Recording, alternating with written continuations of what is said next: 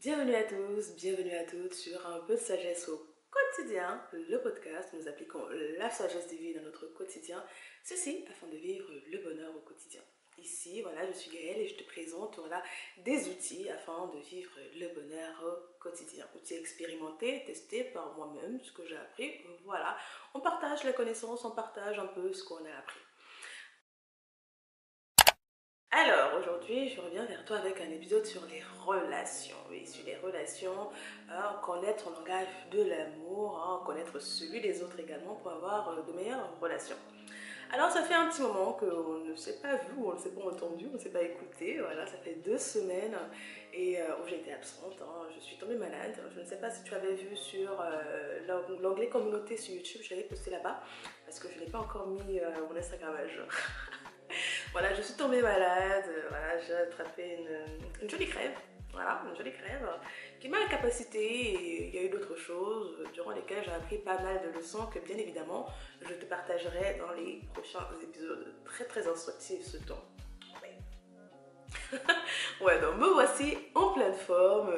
On, voilà, on est dans un nouveau mois, euh, le soleil sort, on est de meilleures humeurs, meilleure humeur déjà. Alors, revenons à nos moutons après cette petite mise à jour. Hein.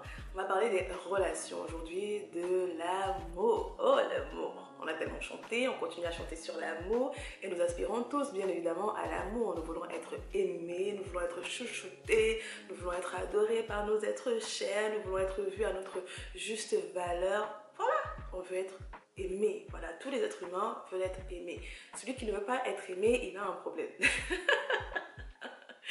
Voilà, celui qui ne veut pas, qui ne désire pas d'amour a un problème fondamentalement. Parce que voilà, nous avons été faits, créés comme ça, avec amour hein, déjà.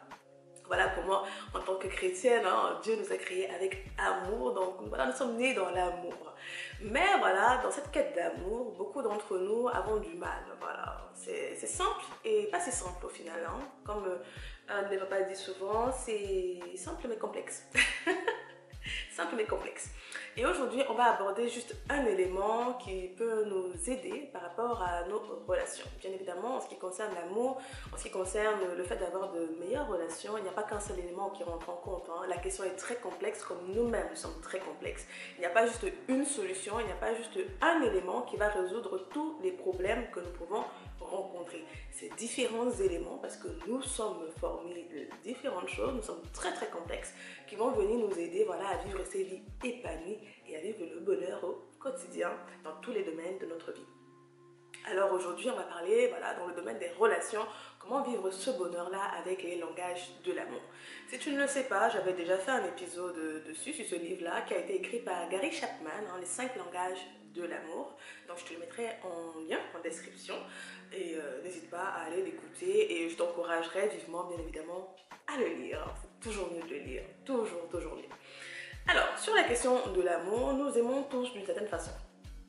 Voilà, nous avons une certaine manière d'aimer parce que euh, la manière dont nous avons été aimés dans l'enfance, parce que tout ce que nous sommes aujourd'hui, peu importe l'âge auquel vous pouvez écouter cet épisode-là, revient de l'éducation. Tout part euh, de l'enfance, bien évidemment, puisque c'est là-bas qu'il y a les fondamentaux, les fondations de notre être, de qui nous serons. Ceux qui ont souvent du mal avec l'amour n'ont pas reçu assez d'amour, n'ont pas reçu le bon amour, si on peut dire ainsi, quand ils étaient enfants, ou ils ont reçu d'une certaine manière. Alors, chacun d'entre nous, nous avons euh, été aimés, nous avons été éduqués à aimer, euh, voilà, d'une certaine manière. Hein, voilà. Euh, nos parents nous ont aimés d'une certaine manière parce que c'était la manière également qu'ils l'ont reçu. Rappelez-vous, une parole de sagesse dit qu'on ne donne que ce qu'on a. Voilà. Je sais pas si une parole de sagesse ou un proverbe, j'en sais rien. Je te dirais ce que c'était. on ne peut donner que ce qu'on a. Donc, nos parents, ceux qui étaient autour de nous, nous ont donné l'amour de la manière dont ils comprenaient. Donc, également, de la même manière, nous avons assimilé le fait d'aimer d'une certaine manière. Nous nous sentons aimés, donc, d'une certaine manière. Et souvent, nous voulons aimer les autres de cette manière-là. Puisqu'il y a une parole de sagesse qui dit que voilà, hein, euh, la preuve d'amour c'est d'aimer son prochain. Voilà, une des lois c'est, elle dit quoi déjà cette parole de sagesse Voilà, voici le second, tu aimeras ton prochain comme toi-même. Alors, en voulant aimer, en voulant avoir de meilleures relations, puisque dans les relations, il y a une certaine réciprocité, c'est important, aimer l'autre et être aimé. Et donc, souvent dans nos relations, nous aimons donc les autres de la manière dont nous percevons l'amour. Voilà.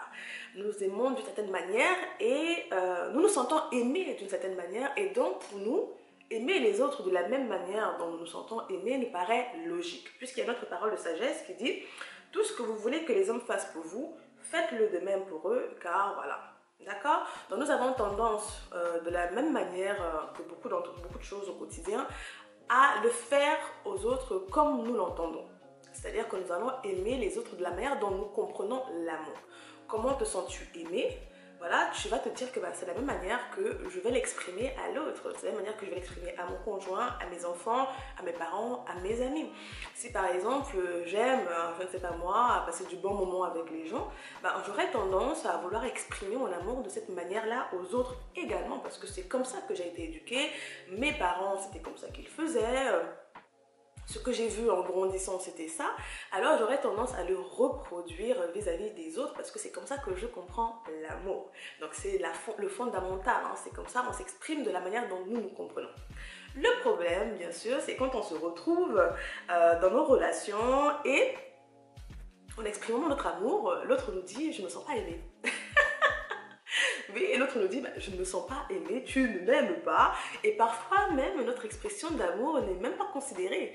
Et c'est où nous nous retrouvons souvent avec beaucoup de problèmes, avec des relations où on nous dit, voilà, l'amour est terminé, je ne t'aime plus, je ne me sens plus aimé. Alors qu'au départ, voilà, je sais pas moi, il y avait les papillons, il y avait toutes ces choses-là, etc.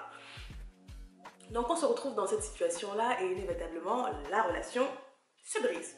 Alors pourquoi est-ce qu'on ne se sent plus aimé? Pourquoi est-ce qu'on ne se sent pas aimé une fois bien évidemment que les papillons ont disparu? Parce qu'il faut savoir, et c'est ce que Gary Chapman explique dans son livre, je t'encourage à aller écouter cet épisode-là. Il nous dit en fait que l'amour a plusieurs phases. Et je pense qu'on peut le comprendre, on peut le savoir pour ceux qui sont dans des relations, pour ceux qui ont aimé et tout. Il y a la phase qui n'est pas vraiment de l'amour, qui est plutôt de l'attirance, l'attraction sexuelle au départ. Et il avait cité euh, un docteur, alors je ne sais plus son nom, mais en tout cas ce docteur-là disait que la première phase hein, de l'amour, c'est juste l'instinct naturel à copuler, voilà, pour... Euh, assurer la pérennité de la population, non, c'est juste l'attirance sexuelle, voilà. Il y a ce, cette espèce de flou là, cette espèce de nuage rose là, si on va le décrire comme les romances, comme les dessins animés le décrivent, hein.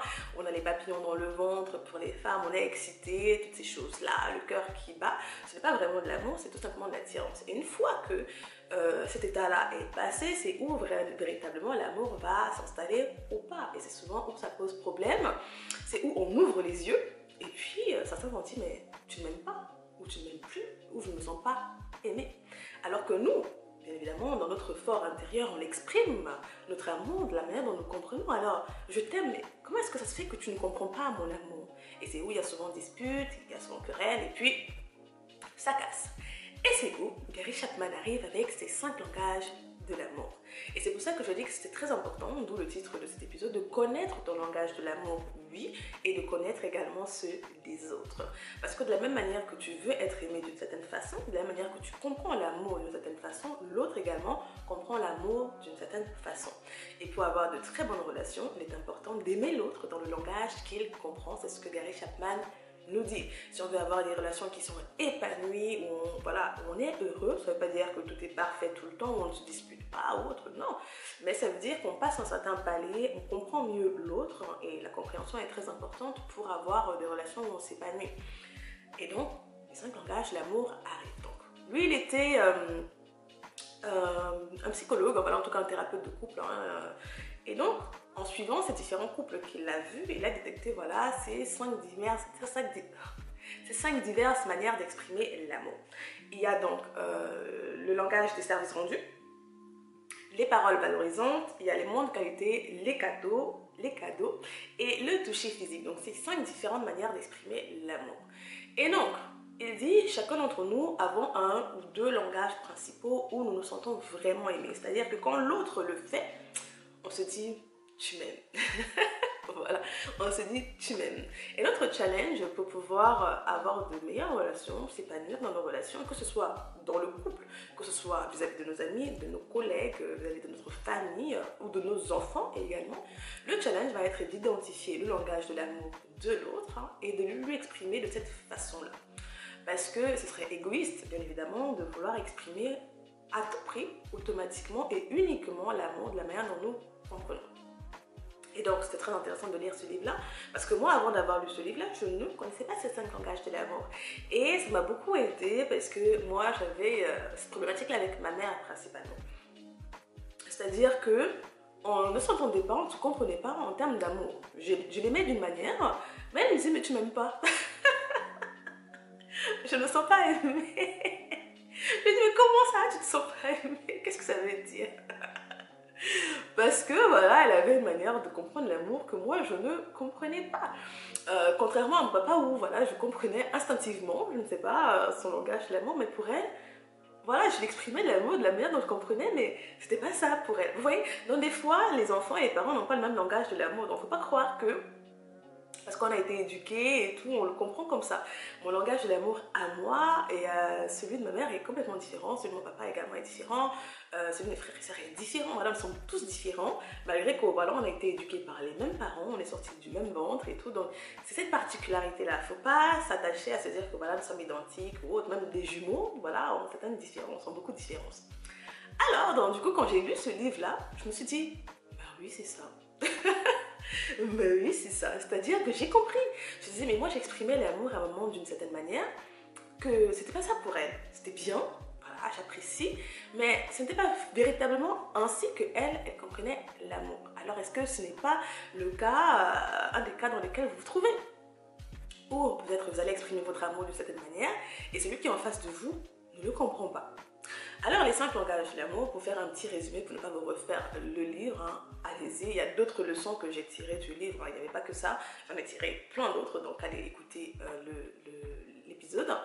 Donc, euh, les paroles valorisantes, c'est voilà, encourager, dire de bonnes choses sur l'autre. Hein. Donc, il explique de haut en large dans, dans le livre c'est quoi les paroles valorisantes. Il y a même des dialectes dans les paroles valorisantes, c'est-à-dire qu'il y a même des sous-catégories dans les paroles valorisantes. Bon, c'est ça que je dis allez le lire ou allez écouter l'épisode si vous avez flemme, allez lire le livre. Il en vaut la peine. Dans les paroles valorisantes, euh, ça fait un peu un lien avec l'épisode sur les compliments, le pouvoir des compliments que euh, j'avais fait, que je te mettrai également en lien. N'hésite pas à aller l'écouter. On néglige souvent les compliments. Il y a des gens voilà, qui sont sensibles, eux, aux paroles qu'on va leur dire ces paroles d'encouragement, ces paroles voilà, qui les élèvent, voilà, qui, les mettent en valeur eux, ils seront sensibles plutôt à ce langage-là. Donc, on a tout intérêt à leur parler dans ce langage-là. Parce qu'il y en a d'autres qui sont plutôt sensibles aux cadeaux. Les cadeaux ne veulent pas forcément dire le prix, si on met le prix, c'est bien. Mais c'est surtout le fait d'avoir pensé à l'autre, que ce soit un bouquet de fleurs, que ce soit un cadeau confectionné. Voilà, c'est ce que l'autre va comprendre. Les cadeaux, les surprises, voilà le fait d'avoir acheté, d'avoir pris de son temps pour voilà, penser à l'autre, il va le comprendre de cette manière-là.